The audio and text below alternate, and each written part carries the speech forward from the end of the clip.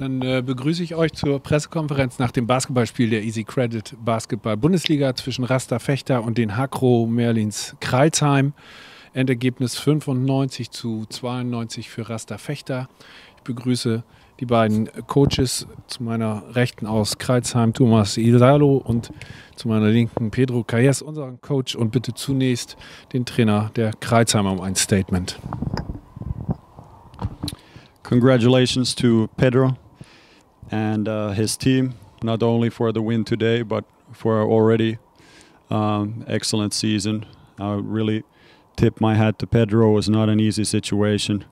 Uh, in the beginning, we talked a little after the first game. We were in very, we were in similar situation at that time, and after that, the roads have gone in in different directions. But he's done an absolutely wonderful job, and is is my clear selection for for coach of the year with the with the job he's done.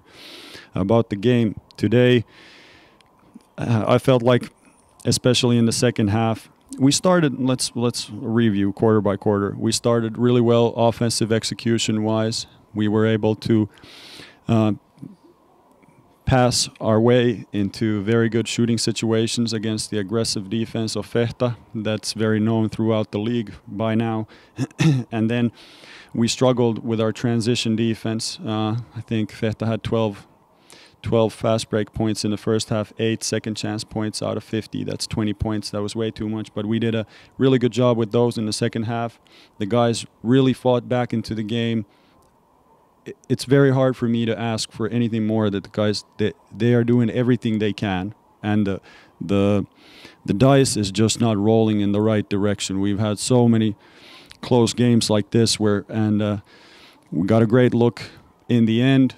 It's it's a 50% shot. It's a coin flip to take us to overtime or not.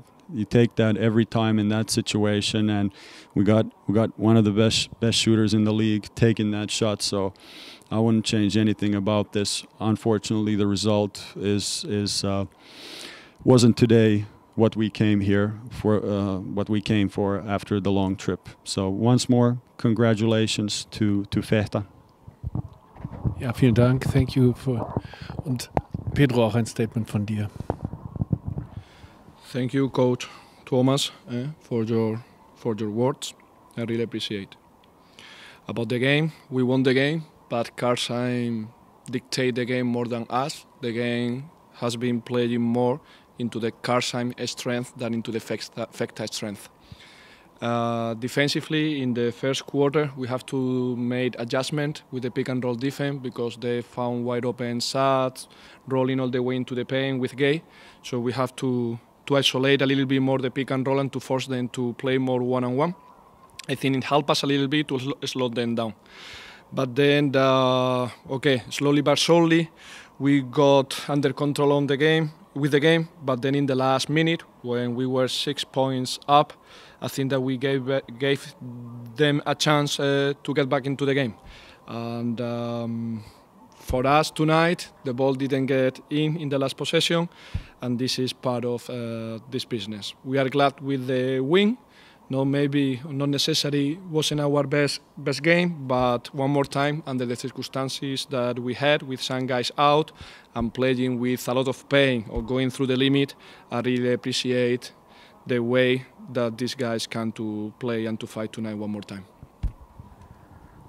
Ja, vielen Dank auch an dich, Pedro. Und so bleibt uns den Crailsheimern eine gute Heimreise für den doch langen Weg auch und noch good luck for the last three matches.